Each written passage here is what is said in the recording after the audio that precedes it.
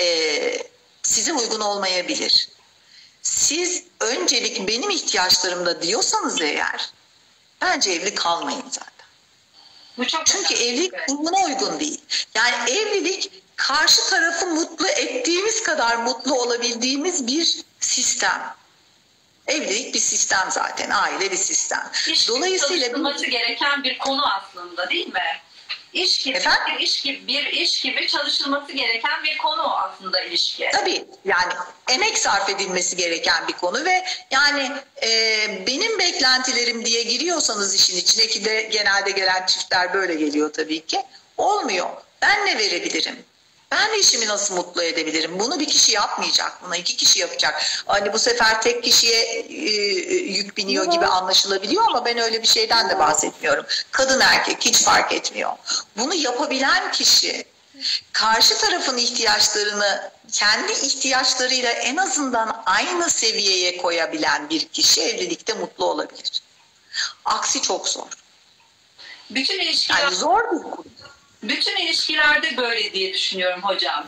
Yani e, insanlar aslında birbirleri için bir şeyler yapmaya yap, yapmayı hedefleseler, yap, yapmaya çalışsalar aslında birçok şey de çözülecek. İşte ego her yerde ya. E, sadece ilişkiler, e, kadın erkek ilişkilerinde değil, genel anlamda bütün insan ilişkilerinde de bu Sibel, e, Sibel Hanım şey yazmış oraya. E, benim için sanki düzenlenmiş bir sohbet e, doğru yerdesiniz diye yaptık ya.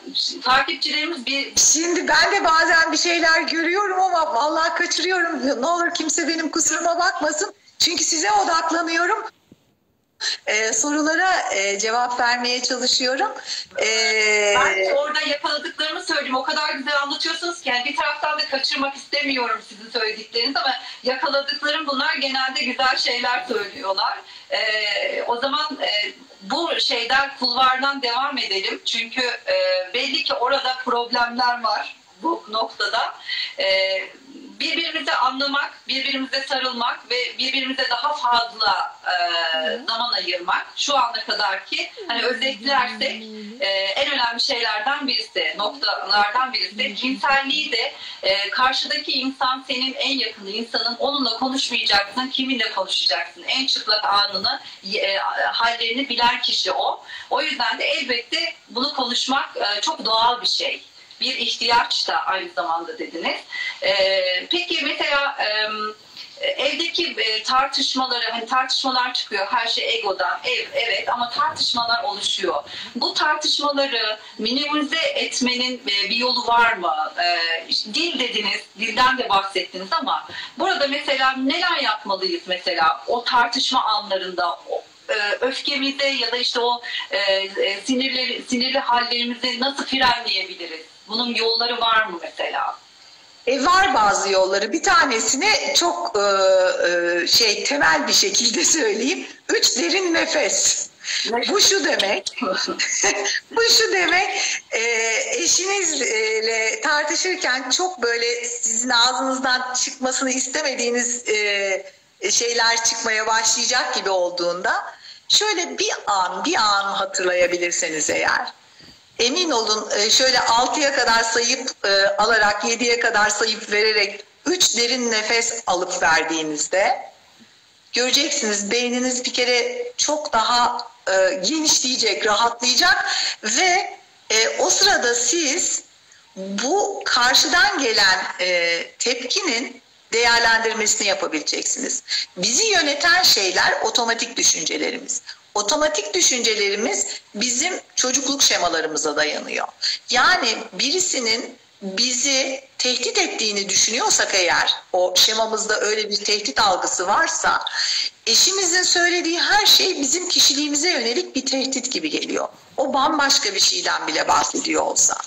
Dolayısıyla biz her zaman şunu göstermeye çalışıyoruz danışanlara. Diyoruz ki, ee, bir alternatif sebebi olabilir mi eşinizin? Mesela eşi kapıdan içeri giriyor, işten eve geliyor, suratı asık. Günaydın, şey günaydın diyor, hoş geldin diyor e, eş. O da böyle mırıldanıyor ve doğruca tuvalete gidiyor. Şimdi ne hissediyor öbür taraftaki kişi hoş geldin diyen?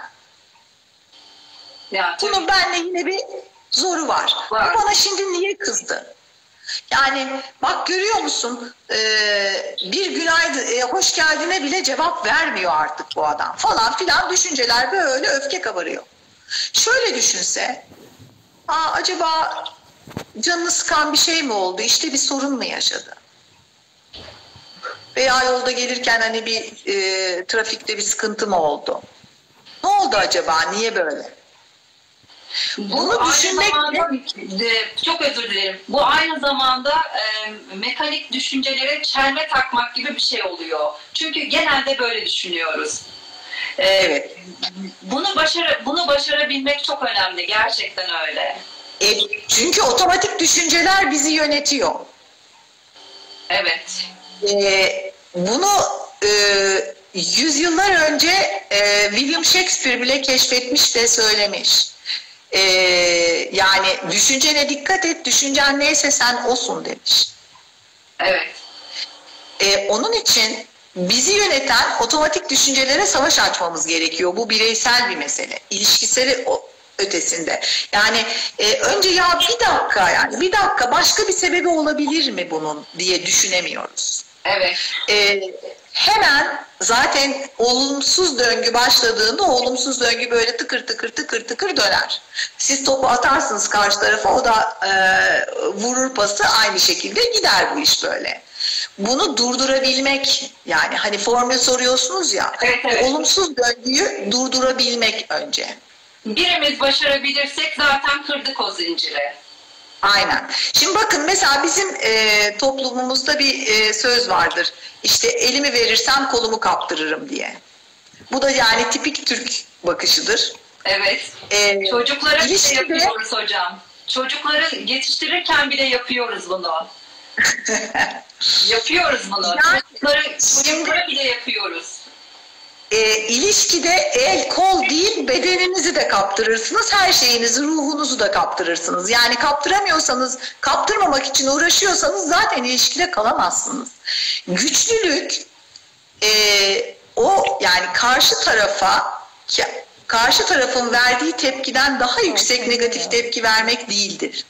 Güçlülük olumsuz durumları yönetebilmektir. Çok güzel. Eğer siz bir olumsuz durumu yönetebiliyorsanız güçlüsünüz.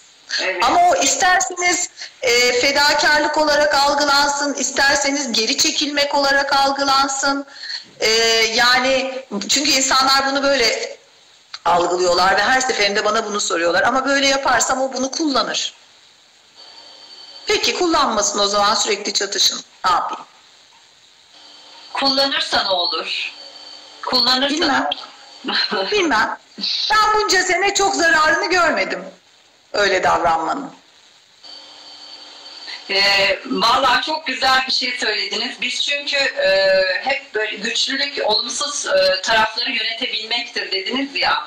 E, biz kadınlar, özellikle kadınlar bunu ayırıyorum. Hani bütün insanlar için geçerli bence. Ama kadınların genel düşüncesi sanki buymuş gibi. Konuştum en azından etrafımdaki kadınların ve bazen de benim. E, böyle güçlü olmak zorundaymışız gibi hissediyoruz bazen. Yani her konuda güçlü olmak zorundaymışız gibi hissediyoruz. Aslında bunu yönetebilmek çok önemli. Ee, sevdiğinin karşısında, ilişkinin karşısında güçsüz de olabilir insan. Hatta güçsüz olmak sevmek de demektir ee, aynı zamanda. Böyle bir şey söyleyebiliriz değil mi? Yani sevdiğinin karşısında güçsüz de durabilir insan yani bir taraftan. Kendini bırakabilmekten bahsediyorsunuz. Evet. Yani kendini bırakabilmek, ilişkiye kendini teslim edebilmek. İşte onun için biraz egoyla savaşmak gerekiyor gerçekten. Yani ben kimsenin bakın bazı sağlıksız ilişkiler var. Bir kişinin sürekli diğer kişinin peşinde koştuğu, işte sürekli vız vız vız vız vız vız ondan ilişki talep ettiği, bundan bahsetmiyoruz biz. Söz konusu olan bu değil. Kendini bırakabilmek bu değil. Kendini teslim edebilmek demek, e, orada o ilişkinin içinde gerekli doğru adımları atabilmek demek. Egoyla savaşarak. Yoksa birisi sizi yönetsin demek de değil. Ee, birisi şey yazmış, e, renkoloji e, diye bir takipçimiz 45 yıl evet. sonra hala bir şey öğrenebildim. o, o benim bir arkadaşım şimdi gördüm. Çiğdem Hanım öyle ama e, kadın programlarına çok davet ettik. Kadın programlarının editörlüğünü yaptığım dönemlerde e, boşanma, ilişkiler, evlat edinme her konuda konuştuk. E, hakikaten de ondan her seferinde hep bir şey öğrendik. E, bugün de öyle o kadar güzel şeyler söyledi ki ben konuşmak istemiyorum aslında. Araya giriyorum böyle gevezelik ediyorum ama e, yazıları da okuyabilmek için biraz yapıyorum. Rica ederim. Ee, çok güzel, çok değerli bilgiler veriyor. Her zaman öyledir Çiğdem Hanım. Ee, peki e, ilişkili yani güçsüz olmak dedik, ilişkilerde işte e, iş gibi çalışmamız gerekiyor. Aslında yaşayan bir insan olmak, yani erkek kadın yaşayan bir insan olmak, işte e, ortak alanlarda buluşabilmek, ee, ama ondan sonra herkesin de bir kendi aslında bir hikayesi var ve o hikayeyi devam edecek işte. Ee, belki e, işte erkek gidecek arkadaşlarıyla görüşecek belki sinemaya tek başına gitmek isteyecek bazen öyle zamanlar da yaşayacak yani herkes birbirine bir nefes de aldırmalı aynı zamanda bütün bunlardan bunu da anlıyorum Doğru mu anlıyorum? Bilmiyorum. Şimdi e, bireysel alanların tabii dengeli olması gerektiğini düşünüyorum ben. Yani e, çiftlerde diyelim ki bir kişinin iki haftada bir dışarı çıkma hakkı varsa diğerinin de olmalı. Hani e, bazı istisnai durumlar tabii ki olabilir. İşte yurt dışından arkadaşınız gelir de iki kere çıkarsınız yani. Ama e, yani kadın evde otursun ama erkek bazı geceler çıksın. Bu eşitliği de bozuyor, ilişkiyi de zedeliyor. Evet. Evet. Dolayısıyla herkesin eşit bireysel alanları olabilirse eğer karşılıklı saygıyla bu e, ilişkiyi geliştiriyor. Yani biraz önce dedim ya bazı standartlar var. Herkes mesela işte evli çiftler ayrı gezmez. Yok mesela evi geçindirmek babanın görevidir falan gibi bir takım standartlar vardır. İşte erkek şunları yapar, kadın bunları yapar. Yani bu standartlara çok fazla takılmamayı başarmak Evet. Hani kimin elinden ne geliyorsa bazı evlilikler var. Erkek az kazanıyor, kadın çok kazanıyor ama erkek çift mutlu. Yani değil, evet. Bu bir ölçü değil bana göre. Evet. Onun için bu standartlara takılmadan e, eşitlikçi e, yani eşitlikçi bir ilişki kurabilmeyi başarmak önemli tabii ki. Ee, Sibel e, Hanım yazmış. Diyor ki sizin e, konuşmaların, sohbetlerinizden gaza geldim, özledim yazdım. Artık sonu ne olur bilmiyorum demiş mesaj göndermiş. Bence zararı olmaz. Şimdi bakın e, sizi hiç aramayan, sormayan, ilişkide olmadığınız ama hani bir şekilde dürtüklediğiniz birine yazmaksa bu bilmiyorum ama sevdiğiniz ve ilişkide olduğunuz birine özledim yazmak hiç kötü bir şey değil bana göre. Bana o, göre. o, o kişi, o kişi e, bunu hak ediyorsa zaten gerekli cevabı verecektir. Bu kadar. Gerçekten öyle.